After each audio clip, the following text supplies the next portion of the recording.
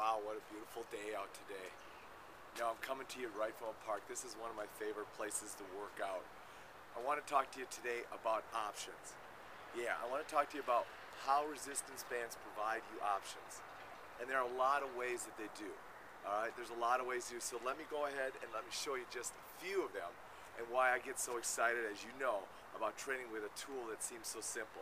You know, first of all, you got resistances. You got so many resistance variations. I mean, look at this.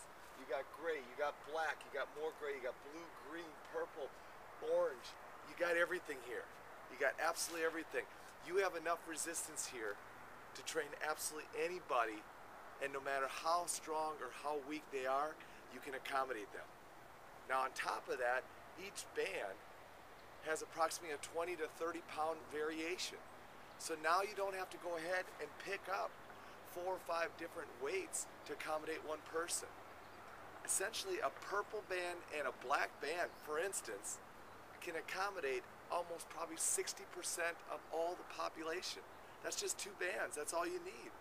So the resistance is incredibly, incredibly important and it allows you to go ahead and meet everybody's needs.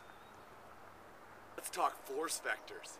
Yeah, horizontal vectors, vertical vectors, even rotational vectors.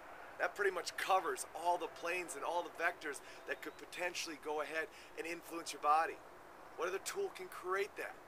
And you need to create that because that's how our body functions. It needs to feel how to handle those vectors. So get training with multiple vectors. Just another way bands create options. You want options? I'll give you more options. How about being able to simulate every single movement our body makes? And now with the vector forces that we just talked about, you've got it all. Yeah, let's talk about it. You can go ahead and do the basic ones like squatting, pressing, curling. Those are all vertical vectors, but you can do those. You can also go ahead and do throwing or pulling or pull downs go ahead and simulate a swing. You can go ahead and do the granddaddy of them all and simulate running. Sideways, forward, backward. All the movements that your body would do on the field, on the court, and in life, you can simulate with bands. How's that for options? You want more options? How about being able to train every single aspect of fitness? Cardiovascular training, strength training, power training, and most importantly, something you just simply can't get from a dead weight flexibility training. And being able to take your body and put it where it needs to go, just in case one day you got to take it just a little further than what it's used to doing. Training all aspects of fitness. Can't do that with just any tool.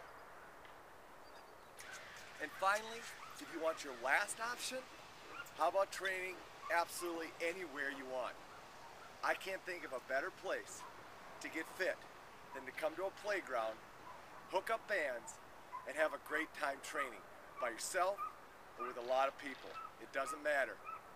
Options. Resistance bands give you them all. Go ahead and make sure you take advantage of them, try them out, and start having some fun while getting incredibly fit.